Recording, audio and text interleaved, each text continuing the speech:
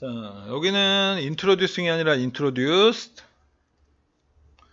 그 다음에 여기 s 붙여주고 여기는 which. 자, 앞에, 앞에 콤마가 보이죠? 요거는 계속적 관계사야. 자, 계속적 관계대명사는 that을 쓸 수 없죠? 그래서 which를 썼고, 어, which로 바꿔줘야 돼. 그 다음에 여기 이렇게 전명구 불완전이죠? 그러니까 쟤는 저 앞에 있는 위치는 목적격 관계대명사가 되는 거예요.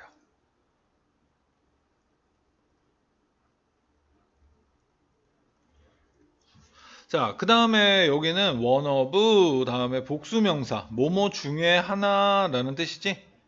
그래서 가장 훌륭한 재즈 음악가들 중에 한 명인 이 패트 월러. 자, 그 다음에 여기는 목적어가 없고 그래서 수동태가 들어가는 건데 요 해석은 수, 이거는 수거로 좀 기억해야 돼요. be introduced 오른쪽에 정리되어 있는 것처럼 접하다. 그는 재즈의 세계를 접하였습니다. 여기까지. 자, 여기서 하나가 제, 잘못됐던데, 자, 여기 틀린 게 4개예요. 여기서 러시 아니라 writing으로 바꿔 줘야 되고, 문장 구조를 보면 여기가 문장 동사. 그러면서 여기는 또 동사가 들어갈 수는 없겠지? 동사 쓰려면 접속사가 필요했겠죠? 없기 때문에 여기는 분사 구문의 자리가 됩니다.